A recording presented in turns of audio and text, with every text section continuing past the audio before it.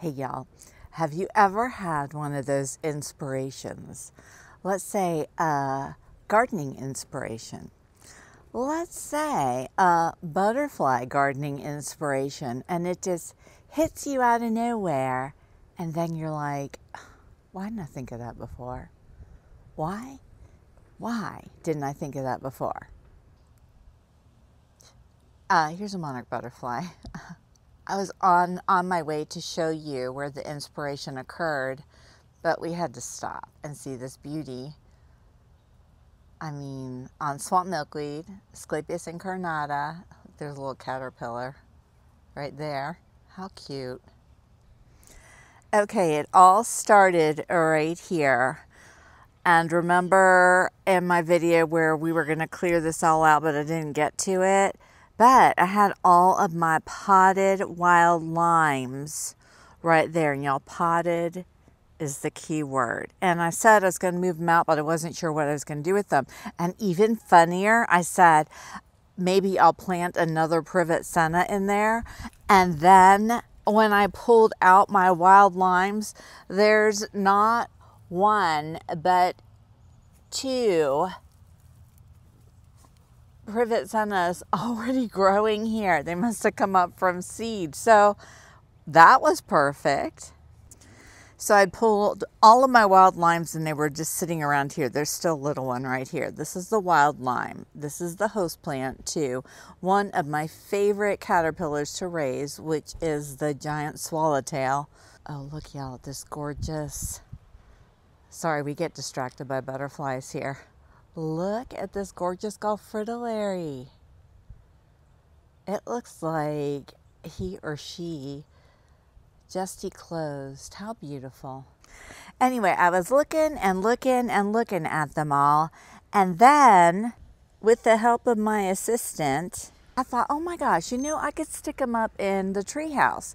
Because when I sit in my chair right here, I can look up there and see them and if a giant swallowtail were to come and want to lay eggs, I could see that happen and know it happened because meanwhile in my chairs, the wild lime is all behind me and it will get them out of the way so we won't be disturbing little Miss Ma'am who is in her nest, my little cardinal female, and um, going back and forth, you know, checking the wild lime because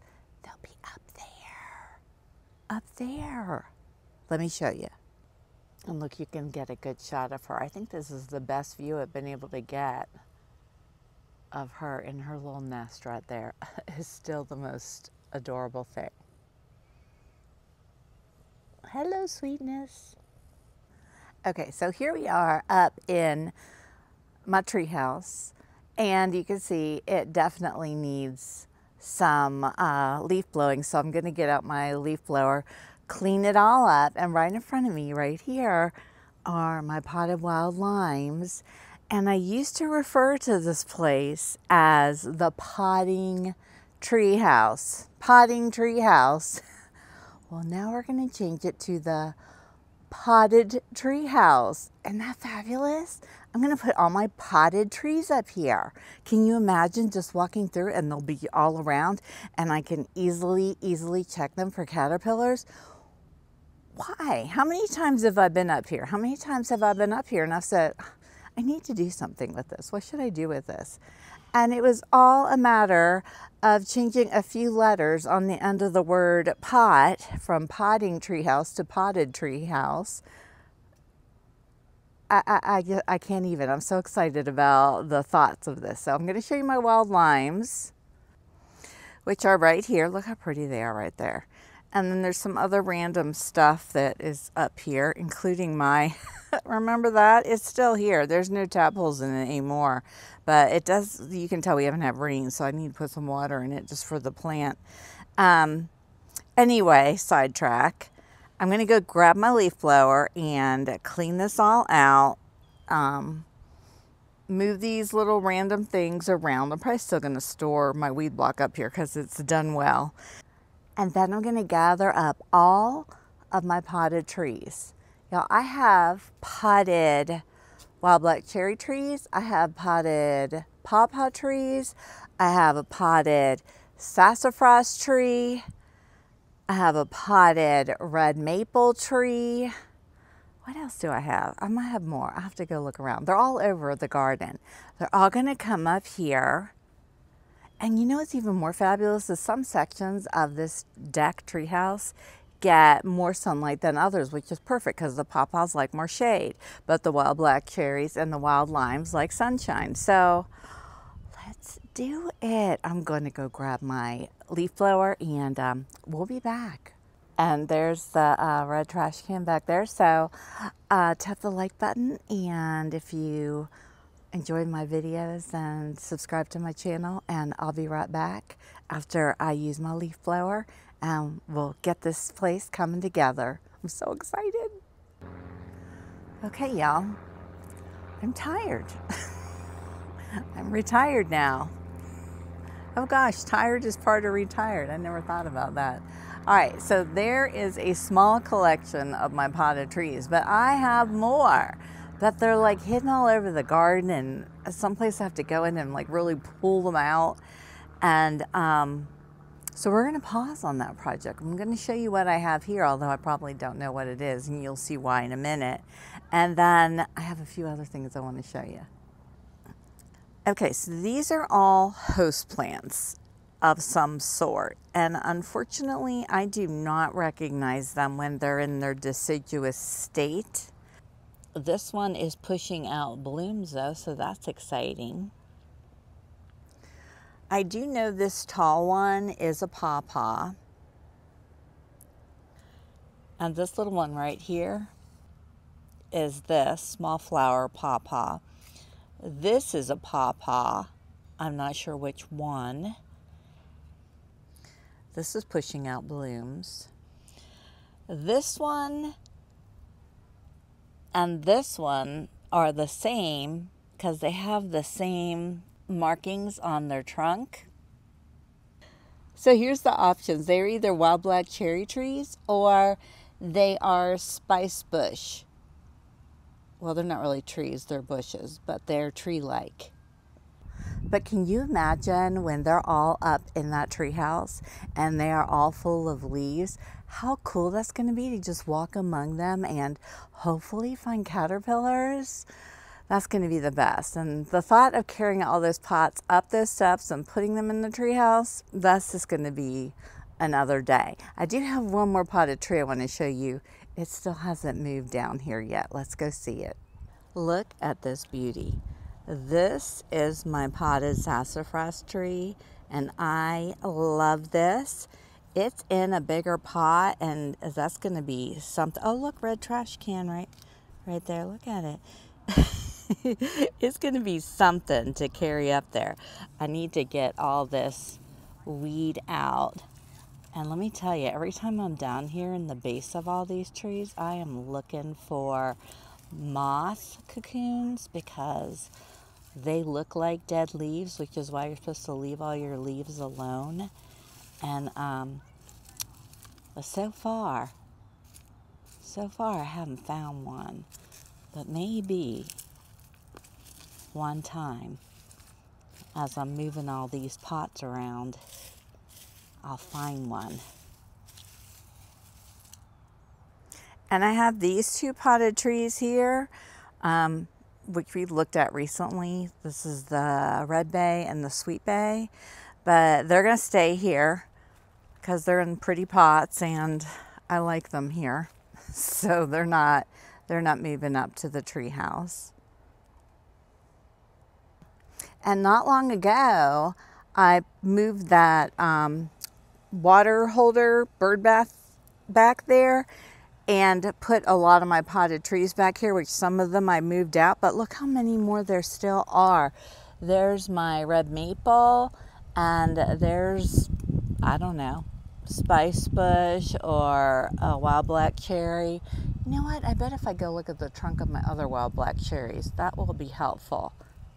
There's another one there. There's a little one here it's nice because thanks to all the work I did in my last video, I can easily get back here. Oh yeah, look at this trunk. So this is the wild black cherry tree. I'll have to like compare. Or I can just wait till till they bloom. Look at this. This is my little potted Asclepias incarnata that I grew from seed and there she is laying eggs on it and it's already got caterpillars on it as you can see. She's laying more. She's on the other one. oh my gosh. Now she's on the twine vine. She must not have found my big patch of swamp milkweed in my whole swamp milkweed garden. She's over here in my work area. Oh, look, there she goes. I've got some more swamp milkweed over there and a balloon milkweed. oh, yay. Oh, well. How sweet is that?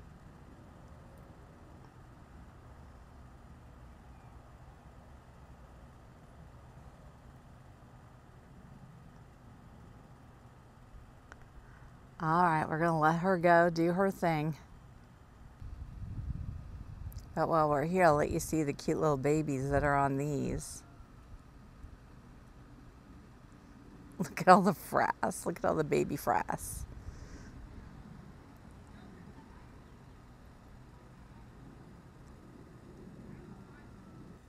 Oh yeah, look, there's a queen. I think I'm just gonna take these little pots in. I think I'm just gonna take them in because what is my rule of four or five? There's probably four or five. And I haven't taken any babies in. I still have my big guys in there. I'll have to put these somewhere where the big guys can't get them because they'll want to eat those leaves.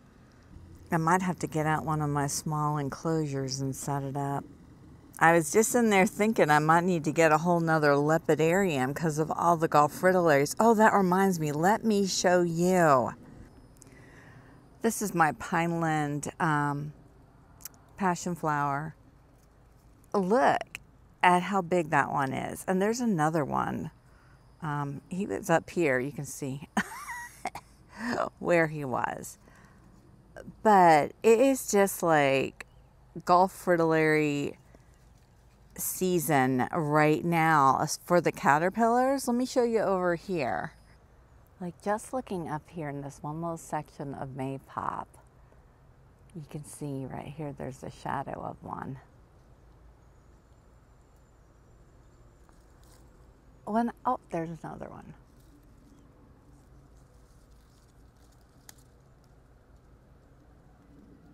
It's just, they're everywhere. Here's another one here. And look, and these guys are big.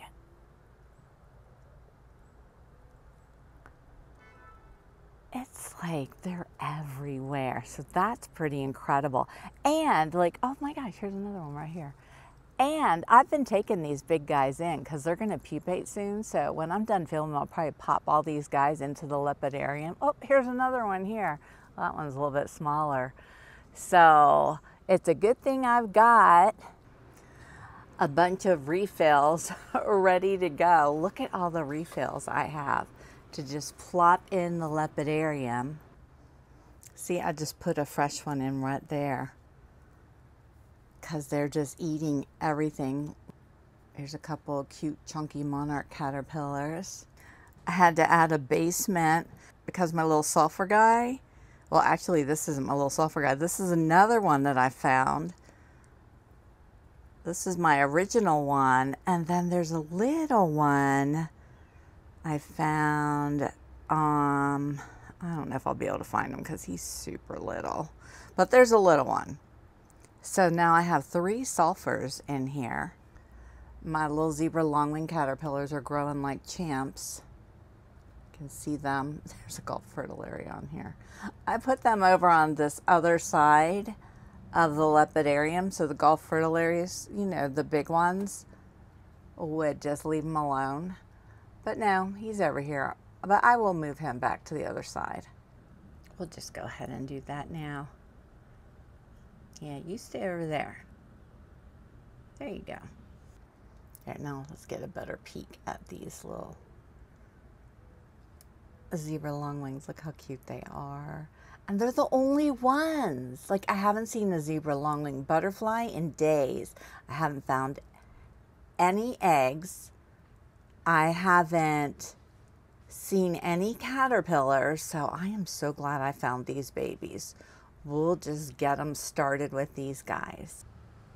So as you can see behind me, we're about to get some rain, I'm pretty sure, which is a fabulous thing, but it's gonna bring an end to my gardening, but that's good because I need to go in and upload this video. There is one more thing I'm gonna show you. I was looking in my zinnia garden and there was this pop of purple. I was like, purple, what is that? There is a cosmos coming up in there. That's gorgeous. Let's go see it.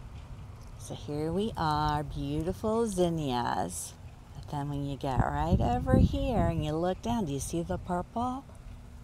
Look at this gorgeous little piece of beauty just hidden down here. Is that not spectacular? I absolutely love it.